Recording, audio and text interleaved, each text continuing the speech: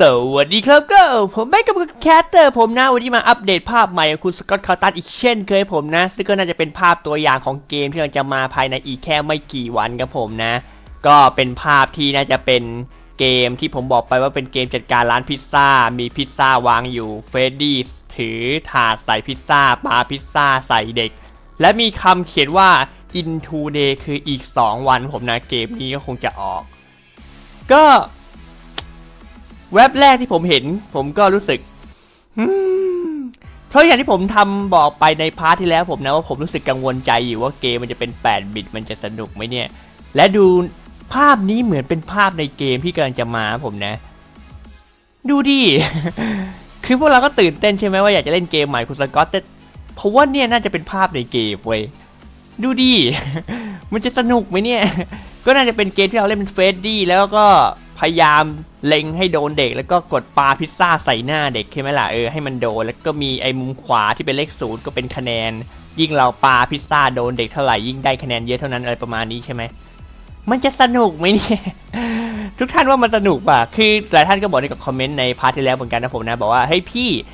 เกม 8 บิตที่สนุกมันก็มีอยู่เยอะ Undertale Undertale อะไรแบบเนี้ยผมก็เออ ผมก็ไม่ได้ว่าอะไรเว้ย ถ้ามันสนุกก็โอเค แต่ดูดิ เราดูภาพแล้วมันเหมือนเป็นแค่เกมที่เราเล่นเป็นเฟรดดี้แล้วก็แบบว่ากดเลื่อนยิงพิซซ่าใส่หน้าเด็กเล่นนี่เฉย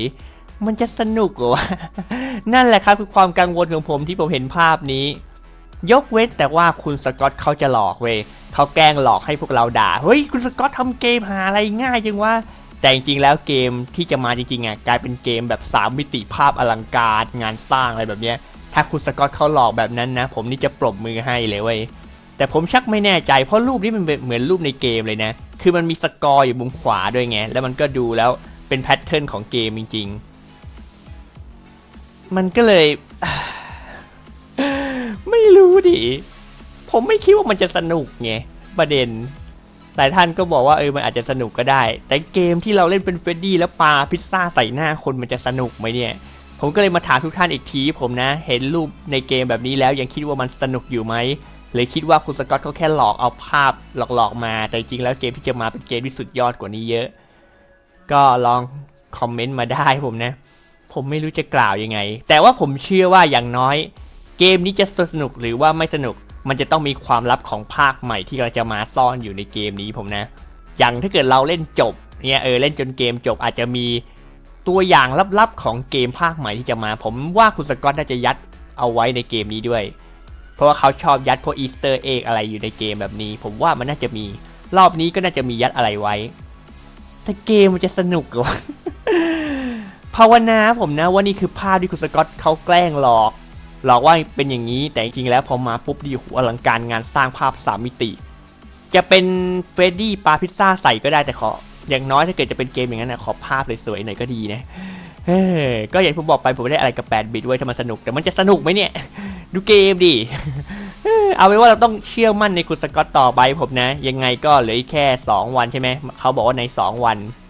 ก็น่าจะมาภายในอาทิตย์นี้แหละ ลองรอดูได้ผมนะถ้ามาผมก็จะเล่นดูผมบอกไป มันจะสนุกไม่สนุกก็ต้องเล่นนะ่ะรอมาขนาดนี้เลยใช่ไหมเฮ้ยชีวิตโมแต่ว่าโอกาสที่มันจะ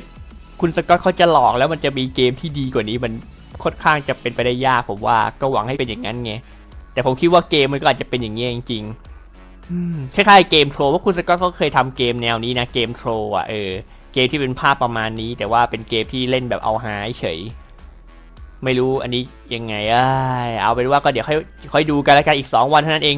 ไม่แน่ใจว่าใน 2 วันนี้จะมีภาพใหม่มาอีกหรือเปล่า ถ้ามีผมก็คงทำอีก ถ้าไม่มีก็รอเล่นเกมกันไปเลยผมนะ โอเค ใครชอบคลิปนี้ก็อย่าลืมกดไลค์สับ s ครแชร์แล้วก็เม้นเพื่อเป็นกำลังใจ ผมสร้างสรรค์ผลงานที่ดีไปผมนะ ถ้าใครอยากดูเกมก็เดี๋ยวรอมันมาก่อน ทุกท่านคิดเห็นว่าไงกับ ถ้าเกิดเกมมันเป็นแบบนี้จริง เล่นเป็นเฟรดดี้ยิงพิซซ่าใส่หน้าคนมีแค่เนี้ยทุกท่านจะชอบไหม ทุกท่านจะยังอยากเล่นกันอยู่หรือเปล่า ก็ทิ้งไว้กับคอมเมนต์ด้านล่างบอกผมได้ผมนะสำหรับวันนี้ก็ขอลาไปก่อน goodbye and good night